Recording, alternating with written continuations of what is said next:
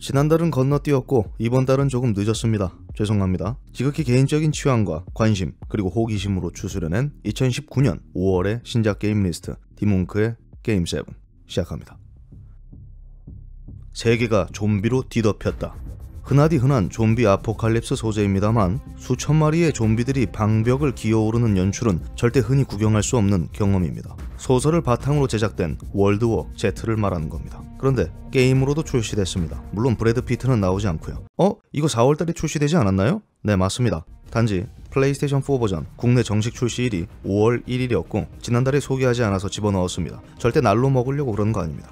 최대 4인 협동이 가능한 3인칭 슈팅 게임입니다. 오래전 터틀락 스튜디오의 레프트 4 데드를 생각나게 하는데 직접 플레이해보지 않아 결과물은 저도 모릅니다. 이미 즐겨보신 분들은 다 아시겠죠. 10명 이상의 캐릭터들 6종류의 캐릭터 클래스를 지원한다는 점은 레포데 시리즈보다 더 다양한 선택지를 제공합니다. 또한 원작처럼 떼거지로 몰려드는 좀비들을 상대해야 한다는 것 역시 이전의 좀비 게임들과 가장 큰 차별화라 볼 수 있죠. 데드라이징도 있는데 그건 손절하겠습니다. 오히려 플레이스테이션 4 독점 게임인 데이즈곤을 떠올리게 하는데 몰려드는 좀비 떼거지를 친구들과 함께 헤쳐나가고 싶은 인싸 게이머라면 도전해볼만 하겠습니다만 아싸라면 그냥 데이즈곤을 플레이하는 게 현명할 수도 있겠습니다. 정확히 말하면 데이즈곤은 좀비가 아니에요. 좀비 같아 보일 뿐이지. 때는 15세기 바야흐로 대항해 시대. 지구는 평평하다는 헛소리를 그대로 믿는 세상. 자신만의 세계 지도를 만든다는 독특한 컨셉. 네오 아틀라스 1469가 두 번째 소개할 게임입니다. 안개로 뒤덮여 보이지 않는 세계를 돌아다니며 세계 지도를 만든다는 것. 단지 어둠을 밝히는 게임이라면 딱히 흥미롭지 않겠죠. 대항해 시대에 걸맞게 선단을 고용하고 무역을 통해 자금을 비축하고 선박을 업그레이드하거나 새로운 항로를 개척해 나가야 합니다. 게임 방식, 비주얼은 오래전에 코에이 대항해 시대 시리즈가 생각나지만 어쨌든 궁극의 목표는 세계지도 완성입니다. 목표가 좀 다르죠. 이 녀석이 더 단순합니다. 탐험에 나가 돌아온 제독들의 의견들을 믿을지 안 믿을지 이런 단순한 선택에 따라 현실과 완전히 동떨어진 세계 지도가 완성될 수 있다고도 하네요. 요즘 나오는 비슷비슷한 게임에 지쳤거나 레트로 감성 터지는 게임을 다시 붙잡고 싶다면 플레이해 봄직한 게임 같습니다. 아무리 발버둥 쳐도 바뀌지 않는 현실이지만 게임에서만큼은 세계 지도를 바꿀 수 있다는 것 충분히 흥미롭습니다. 소행성 충돌로 인해 80%의 인류가 사라졌다. post apocalypse. 무법자들이 판치는 디스토피아. 최악이란 최악은 죄다 갖다 붙였습니다. 아무리 생각해도 남아있는 인간들은 제정신들이 아니지 않을까요? 2011년도에 출시됐던 이드 소프트웨어의 1인칭 슈팅 게임 레이지 이야기입니다. 그 후속작 레이지2가 출시됩니다. 전작과 비슷합니다. hyper 슈팅 게임답게 재빠른 이동과 시원시원한 액션은 고스란히 계승됐지만 전체적인 분위기는 180도로 뒤바뀌었죠. 어두침침하고 탁하기만 했던 특유의 게임 색깔은 형형색색 이쁘장하게 포장됐고 진짜 또라이들이 뭔지 제대로 그려주고 있습니다. 마치 파크라이 뉴던이 생각나지만 전투 스타일과 속도는 판이하게 다릅니다. 마치 둠과 같죠. 뭐 이드 소프트웨어 게임이었으니까요. 그런데 open world를 표방했지만 일반적인 open world보다 제약이 많았던 전작과는 달리 이번엔 완전한 open world로 바뀌었습니다. 저스트 커즈, 매드맥스를 개발했던 아발란체 스튜디오가 주력으로 개발하기 때문입니다. 다른 건 모르겠고 드넓은 땅 하나만큼은 기가 막히게 만드는 곳 중 하나죠. 물론 이드 소프트웨어가 돕긴 했습니다. 코드를 아발란체가 다 짰을 뿐이죠. 게임 출시는 14일 아주 특별한 날에 출시됩니다. 무슨 날이게요? 제 생일입니다. 감사합니다. 생각하면 할수록 굳이 얘네들을 차에 태워야 할까라는 의문이 들지만 나름 꾸준히 태우고 있습니다. 네 번째 게임은 팀 소닉 레이싱입니다. 타이틀처럼 각 클래스별 3명의 팀을 구성해 펼치는 최초의 팀 액션이 특징입니다. 플레이 가능한 캐릭터는 총 15명으로 등장 인원은 그리 많다고 볼 수 없지만 소닉 시리즈를 전부 즐겨온 유저가 아닌 이상 사실 소닉, 테일즈, 너클즈, 닥터 에그맨 말고 누가 누군지 모를 겁니다. 싱글 시나리오를 포함하고 있고 20여 개의 코스와 서바이벌 레이스, ring challenge 등이 준비되어 있다고 하네요. 소닉을 사랑한다면 당연히 고민 없이 구입해봄직하겠지만 그게 아니라면 그냥 마리오 카트를 한 판 더 하는 게 정신 건강에 이로울 수 있겠네요. 얘네들은 그냥 발로 뛰는 게 더 빠르다니까?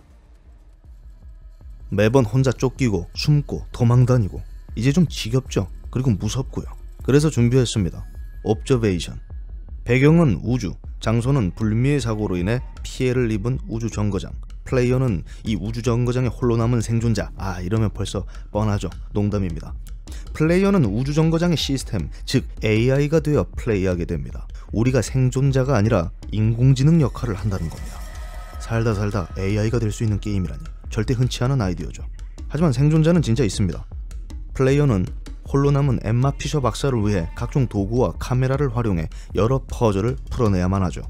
그녀가 어떤 사건에 휩쓸리게 된 건지 그리고 승무원들은 어디로 사라졌는지 미스테리한 사건들을 풀어내야만 합니다. 호러 게임에 취약한 제 입장에선 매우 흥미로운 게임입니다. 공포는 저보다 저 여자가 다 느낄 테니까요. 참신하네요. 약 13년 만에 정식 넘버링을 붙이고 돌아오는 킹덤 하츠 3가 드디어 5월 23일 국내 정식 출시됩니다. 시리즈 최초의 한글판으로 말이죠. 스퀘어 에닉스와 디즈니 합작으로 제작된 액션 롤플레잉 게임입니다. 동심이 부족한 어른이들은 겉만 보고 돌아오든 말든 신경 쓰지 않을 수도 있겠지만 팩트는 전 세계 총 2,500만 장 이상을 팔아치운 인기 게임 시리즈라는 겁니다. 몇 번을 소개하는지 모르겠는데 이거 은근히 사람 지치게 해요. 어쨌든 디즈니 애니메이션 기반의 세계관과 함께하는 화려하고 아름다운 배경, 캐릭터들 간의 연계기와 호쾌한 액션, 다양한 미니게임이 특징인 게임입니다. 즐길 수 있을 때 즐겨야 합니다. 다음 작품은 20년 후에 나올지도 모르니까요. 주변에 킹덤 하츠 fanboy들이 있다면 꼭 끌어안아 주세요. 충분히 많이 기다렸습니다. 축하드려요. 매번 새롭게, 매번 다르게, 하지만 절대 바뀌지 않는 대규모 전투가 특징인 크리에이티브 어셈블리의 전략 시뮬레이션 토탈워 시리즈가 이번엔 서기 190년 중국 삼국지로 돌아옵니다. 그래서 3 kingdom, 정확히 말하면 그냥 삼국. 최근 공개된 스트리밍 영상들을 토대로 요약하자면 유닛들의 모션, 전투와 내정 시스템, 게임 인터페이스는 보다 개선됐고 실제 역사 기반 정사 모드와 그렇지 않은 연의 모드를 갖고 있다는 점이 특징입니다. 삼국지 마니아라면 희번뜩할 내용이죠. 사실 가장 중요한 걸 말하지 않았는데요. 시리즈 최초로 한글 음성 더빙까지 적용됐다는 겁니다. 그동안 토탈워 시리즈를 사랑했던 유저라면 삼국지는 당연히 좋아할 수밖에 없을 텐데 이 둘이 모두 갖춰졌으니 5월에 갓겜 확정입니다. 둘 다 싫다면 뭐 적어도 하나는 좋아하려 노력해보세요. 살아가는데 도움은 좀 될 겁니다. 제가 준비한 게임 7개는 이 정도입니다. 이 외에도 당연히 더 많은 게임들이 출시되는데 개인적으로 마음에 드는 것만 엄선해 봤습니다. 시리즈물들은 진입하기 어려운 문제가 있다고 보는데 막상 즐기고 빠지게 되면 관련된 자료들을 찾는 재미가 있거든요. 아 이랬었구나 저랬었구나. 당장 겉만 보고 free pass를 외치지 마시고 더 멀어지기 전에 하나 정도는 입문해 보시는 걸 추천하겠습니다.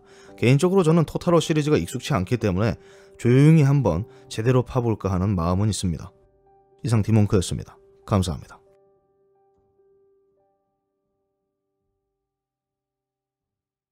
보다 많은 영상 업데이트를 위해 태그5 게임7 편집자분을 모집했습니다. 아직 별다른 액션은 취하지 않았는데 뭐 조만간 조만간 해당 콘텐츠들의 편집은 전부 넘길 생각입니다. 뭐 언제까지 지속될지 이 부분이 참 중요하고요. 꼭 해보고 싶은 콘텐츠들이 있기 때문에 좀 선택과 집중이 필요한 시기가 찾아온 것 같네요.